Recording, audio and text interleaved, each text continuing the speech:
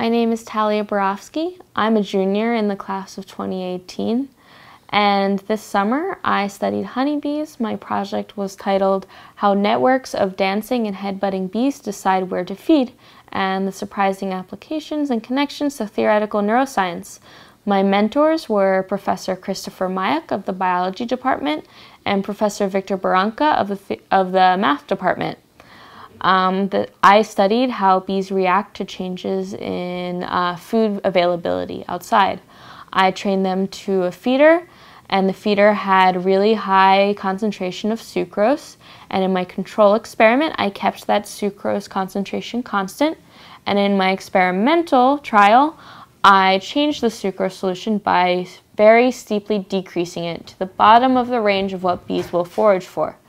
I was expecting to see that visitations by bees would go down because through their networks of interactions via what's called the stop signal and the waggle dance, recruitment would stop.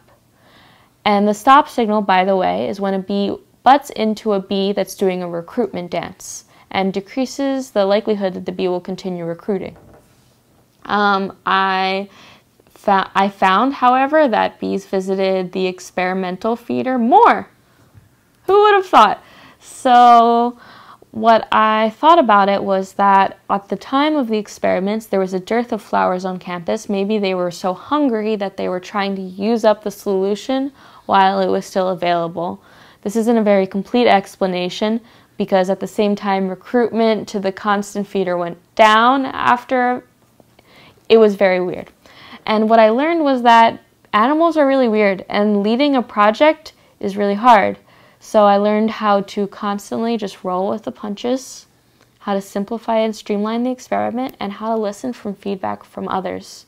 It was an extremely valuable experience. Uh, I'm super glad it happened. And I really want to thank the Panaphil Foundation for funding this and making it happen. Thank you.